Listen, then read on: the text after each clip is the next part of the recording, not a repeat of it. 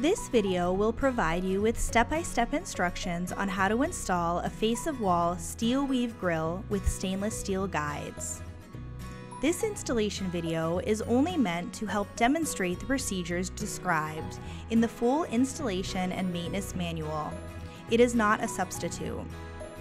Only trained door systems technicians should install or perform maintenance on doors. For electrical connections, only trained electrical technicians should perform these operations. As with any installation, there are critical steps that must be taken before any install work can actually begin. You want to review materials, make sure that you have all components, and review the installation instructions and drawings. If any components have been damaged, complete a freight damage form in the installation instructions if necessary. This is very important. We are not responsible for any charges incurred through missing parts, operation, or damage due to improperly installed door assemblies. Once you've completed your pre-installation checks, start by checking your job construction drawings. In this video, the steel weave grille will be mounted face of wall with stainless steel guides. The stainless steel guides come in a two-piece slide fit construction pre-assembled from the factory. You will notice that they do not have any visible fasteners. Before starting the guide installation, you will have to disassemble the guides. Once the guides are in two pieces, you will begin the installation by mounting the fascia side guide to the wall first. This is what the fascia side guide looks like, and this is what the coil side guide looks like. Start by measuring the wall opening and specified setback.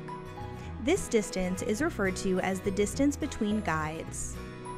Check the distance between these marks and compare that with the job construction drawings. Please note if the measurement does not equal the dimensions on the job construction drawings, stop. Next you will scribe a plumb line on the wall from the marks on the counter to check for level. At this time, we would also recommend confirming that the counter is level. If either are out of square, make note of the difference and accommodate by using a shim when installing the guide. Place the fascia side guide against the scribed line. Check the top of the guide for level and mark the location of the wall fastener mounting hole. Drill mounting holes for the wall fasteners and fasten the guide with the hardware provided. Check the job construction drawings for the required wall fasteners. Finally, tighten the wall fasteners to the recommended installation torque in the torque specification table in section 6 of the installation manual.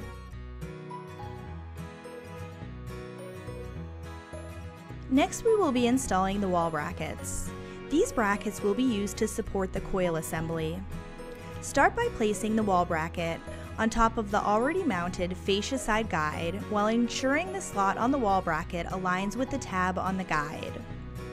Be sure to check the wall brackets for level and mark the location of the wall fastener mounting holes.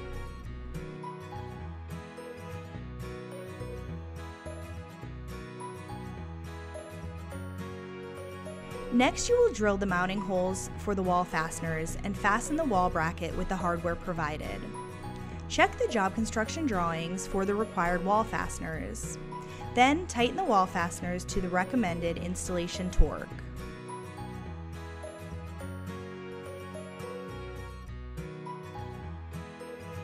Next we will be installing the coil assembly.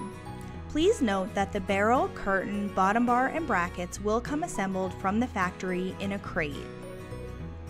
You will start by removing the coil assembly from the crate using the straps. Make sure the straps are placed wide enough apart as to not damage the curtain. Place the skidded coil assembly on the ground and remove the straps. This steel weave grille is being installed with a tube motor which comes installed in the shaft. At this time, you will loosely install the lower carriage bolts. Next, you will measure the distance between the brackets and compare that to your wall brackets. This is to ensure that the inside of the coil assembly bracket meets with the outside of the wall bracket.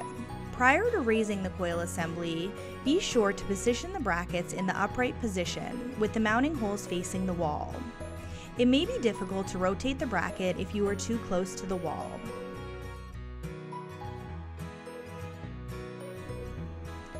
Next, you will lift the coil assembly using the skid and center the coil assembly between the guides while leaving enough room that you will not hit anything with the coil assembly.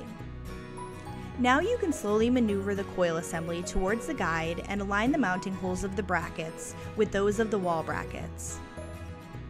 Insert the top bracket hardware first, while making sure the carriage bolt head faces the center of the door. Then proceed to hand tighten. Next, you will ensure that the lower bracket hardware that was installed loosely earlier slides into the open slot on the wall bracket. At this point, you will check to see that the barrel is positioned properly between the brackets. There should be an even amount of space between the operator and the non-operator side. If that is not the case, you will need to adjust. Next, you will place the level in the center of the curtain. The shaft must be level for proper operation. If the shaft is not level, loosen the bolts, reposition, and then retighten the bolts. You then want to recheck and make sure it is level. If it is level, you will fully tighten the bolts, and you can proceed with snipping the banding and removing the skid from the coil assembly. It is now time to hook up the electrical for the tube motor as usual. You will now snip the metal banding to release the curtain. You want to start by ensuring that the bottom bar bearing is inside of the fascia side guide flange. Next, you will raise the coil side guide approximately 1 and 1 quarter inch higher than the already installed fascia side guide to align the key slots with the slip fit fasteners. Then you will push the coil side guide into the fascia side guide and tap down until the guides are flush at the bottom and slip fit is snug. Lastly, you will secure the guide in place with the top fastener to bracket. Next, you will direct the curtain into the guides. Then you will slowly cycle the door about 10 times while watching to make sure that the end locks do not come into contact with the bell mouth or the bracket plate. You also want to make sure that the curtain is wrapping straight. If you notice that the curtain is coning, check to make sure that the shaft is level. If the shaft is not level, you will have to adjust the shaft laterally using the shaft collar.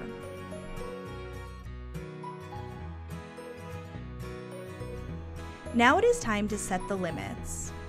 Please be extremely careful while setting the limits of your SteelWeave curtain.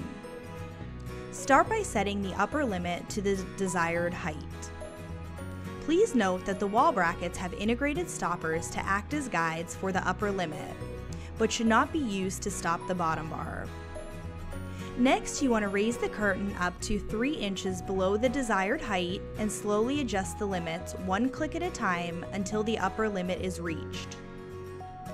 If you set the lower limit too low, you can cause permanent damage to the curtain, which could require replacement. Now you will lower the door to approximately 3 inches above the floor or the desired closed position. Slowly adjust the limits one click at a time until the lower limit is reached. The limits of the curtain are now set. We can now install the stainless steel coil side hood, as usual. Because this unit is small, the coil side hood is in one single piece. Please note that a larger door will come with a two or three piece coil side hood and would require a hood support. The last step is to ins install the end caps.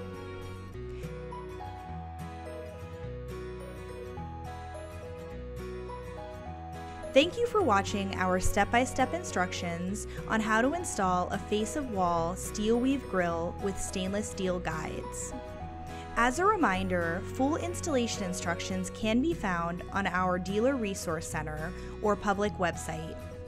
If you have any questions in the field, our support center can be reached at 1 800 233 8366, extension 4799.